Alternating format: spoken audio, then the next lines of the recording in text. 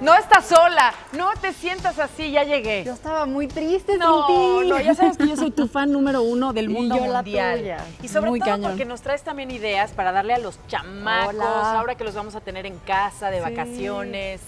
A mí me encanta darte ideas para tus chamacas y a ustedes también. Y la verdad sí, es divertido. De, de repente quieres salirte un poquito de lo convencional. Es, podría parecer un poco parecido a todo, pero no es, porque la forma es distinta, porque el empanizado es distinto. Y aquí estoy terminando de freír, si pueden ver, unas papitas. Todo se puede hacer al Estas horno. papitas son las típicas que podemos comprar ya congeladas, que vienen en bolsa. Sí. Tal cual. Tal cual, pero si, Tenemos las que vamos esperar a a hacer naturales, ¿verdad? no, no, congeladas. ¿Y las metes congeladas, congeladas es como fríen mejor, sí. Brinca un poquito el aceite, tengan cuidado, pero congeladas es como mejor se fríen. ¿Por qué decir- cereal aquí, mamacita? Ah, porque con el cereal le vamos a dar la forma a nuestras palomitas. Mira, Luzma, vean por acá ustedes en ¿Aquí casa. estás? Voy a tirar unas palomitas más para que las vean. ¿Ya viste cómo parecen palomitas? Palomitas muy grandes, pero palomitas.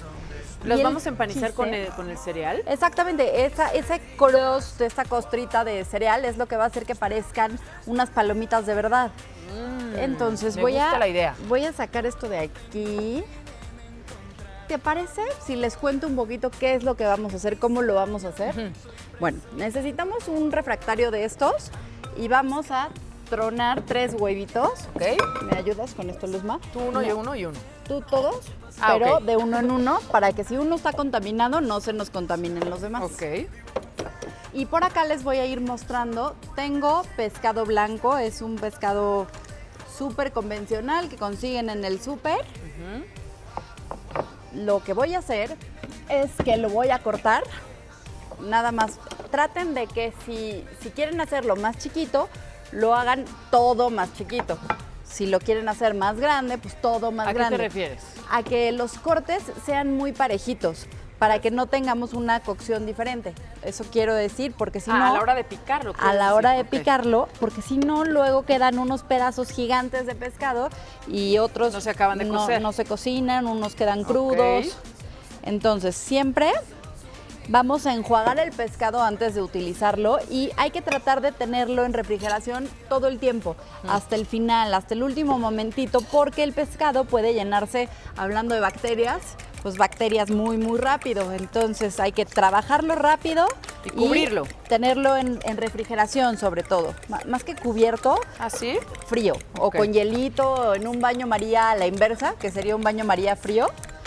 Y bueno, el pescado es buenísimo para todo, pero la verdad es que no es el favorito de los niños. No sé, Pues por no. lo menos los que yo tengo a mi alrededor no son tan amantes del pescado. Entonces sí tienes que como que buscarle la manera.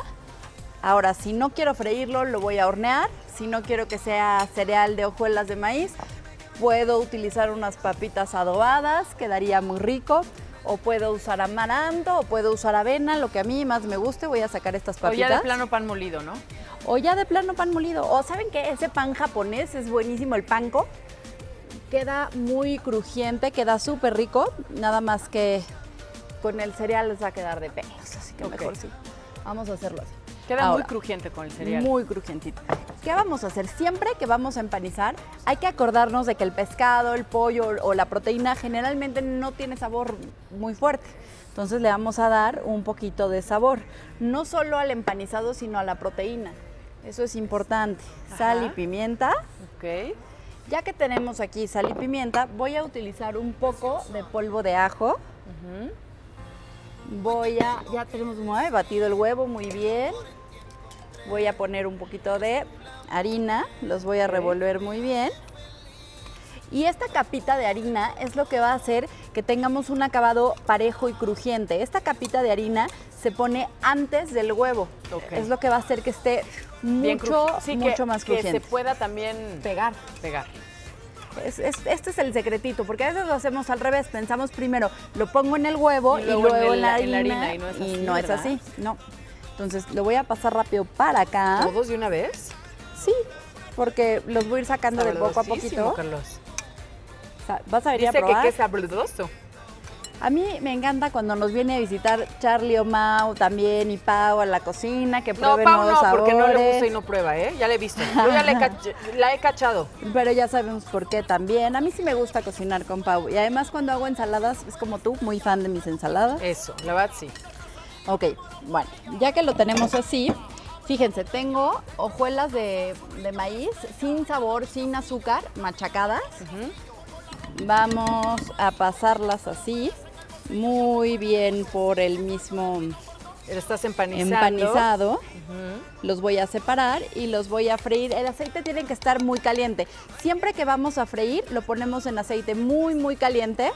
De esta manera, el, el empanizado no absorbe tanta grasa.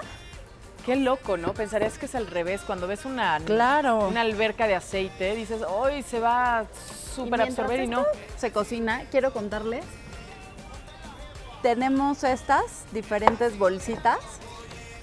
En estas podemos guardar las papas, podemos guardar las palomitas y así no les hacen un platillo aburrido a sus hijos. Oye, no, no, no, espérame. Ya nos están mandando a un corte. No, Ya. necesitamos saber qué onda con tus salsas. Necesitamos probar, cuento. Linda, más, más que nada. Más que nada hay que probar, Por estoy aquí de tengo una mayonesita de chipotle a la que le agregué polvo de ajo Ajá. Uy, y también Qué le delicia. agregué paprika picante. Qué sabroso. Esta es una salsita tártara.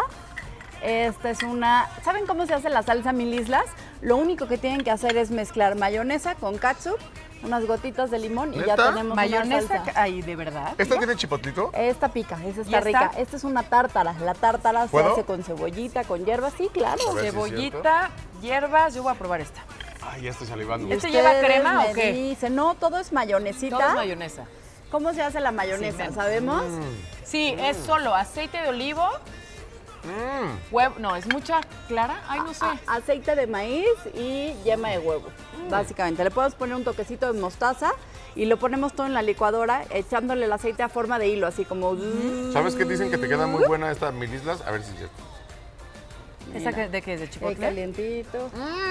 Cálmate, Se Carlos. cayó un poco. A ver, dicen que te queda muy buena esta, esta de qué. ¿Mil islas? Ahora sí va a haber para todos, muchachos. Hoy sí, porque ya, Hoy se va a ya ver para tenemos todos. hambre, ya es la hora de la comida. Esta es la mejor. Es que aprendan a hacer las recetas, Oigan, hombre. tengo no quieran papitas comer aquí. por acá. Háganlo en su ¡Qué casa, deli! muchachos. Un último tip, un último tip. Pónganle sal a las papas en el momento en el que las fríen, las sacan, en ese momento le ponen un poquito de sal, porque si no, no se impregnan. Mm. Aquí hay papita calientita. Gracias. Hay Mm. papita calientita. Ketchup y muchos Es una aderezos. delicia, linda. Muchas gracias. Ay, gracias Me a encanta que nos ustedes y invites gracias por que Buenísimo. Gracias, Charlie. Gracias, Luz. Oigan, familia.